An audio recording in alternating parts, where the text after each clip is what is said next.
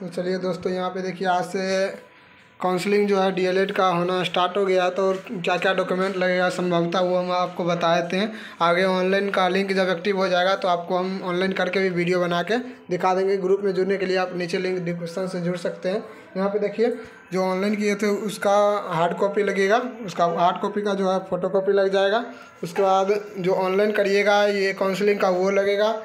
Allotment जो college आएगा, उसका सिलेक्शन लेटर जो निकलेगा, उसका प्रिंट आउट मैट्रिक का अंक प्रमाण पत्र मैट्रिक का मूल प्रमाण पत्र इंटर का अंक प्रमाण पत्र इंटर का मूल प्रमाण पत्र महाविद्यालय प्रत्याग पत्र प्रमाण पत्र उसके बाद जिसको सीएलसी बोलते हैं, यहाँ पे देखिए, प्रवजन प्रमाण पत्र ओरिजिनल चरित्र प्रमाण पत्र स्नातक अंत अंक पत्र मूल प्रमाण पत्र जाति प्रमाण पत्र आवासीय चिकित्सा शपथ और यहाँ पर आधार कार्ड या वोटर कार्ड। उसके बाद दिव्यांग है, दिव्यांग का प्रमाण पत्र चाहिए और यहाँ पे हस्ताक्षर और पाँच फ़ोटो। यहाँ पे आप देख लीजिए। सूबे के तीन सौ 306 डीएलएड कॉलेजों में नामांकन का आवेदन आज से। तो देख लीजिए, डेट यहाँ पे देख लीजिए। डी डीएलएड संयुक्त परीक्षा दो में उत्तीर्ण अभ्यर्थी को 30 अक्टूबर से दाखिला प्रक्रिया शुरू हो गई है। पाँच पाँच नवंबर तक ऑनलाइन आवेदन लिए जाएँगे। तेईस से पच्चीस के लिए बिहार बोर्ड ने सूबे के तीन सौ छः डी कॉलेजों में चौबीस हज़ार सीटें की सूची जारी की है। छात्रों का कॉमन एप्लीकेशन फॉर्म भरना है। आवेदन के लिए मोबाइल नंबर पर ओटीपी डालने पर आवेदन स्वीकार किया जाएगा। आवेदन, आवेदक का आईडी, उनका रोल नंबर, आईडी जो है रोल नंबर और जन्म तिथि जो है पासवर्ड होगा।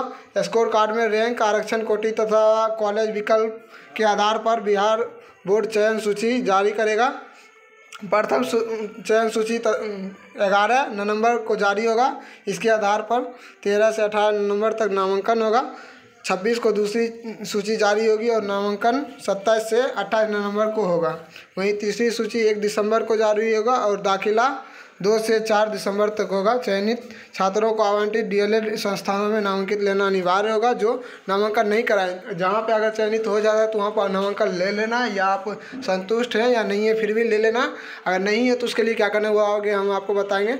उन्हें द्वितीय और तृतीय चयन सूची में जगह जो नहीं अगर लेता है तो उसका अगला सूची में नाम नहीं दिया जाएगा।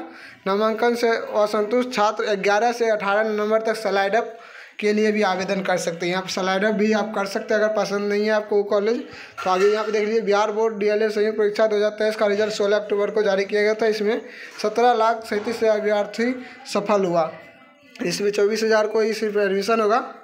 यहाँ पे देखिए, एक लाख सत्रह हज़ार सैंतीस अभ्यर्थी। यहाँ पे राज्यभर में छियासठ सरकारी कॉलेज और दो सौ चालीस निजी डीएलएड कॉलेज है मेधा सूची में बेहतर अंक लाने वाले छात्र को पहली सूची में शामिल किया जाएगा। इन छात्रों को सरकारी डीएलएड कॉलेज में दा, दाखिला का विकल्प पहले मिलेगा। तो इस तरह से देख लीजिए। तो ऑनलाइन जब शुरू हो जाएगी लिंक एक्टिव हो जाएगी तो आपको एक और वीडियो बना के सूचित कर जाएगा। नीचे लिंक डिस्क्रिप्शन में ग्रुप मिल जाएगा। उस ग्रुप को ज्वाइन कर लेना चैनल को ज्वाइन कर लेना और फॉलो कर लेना। मिलते हैं नेक्स्ट वीडियो में। धन्यवाद।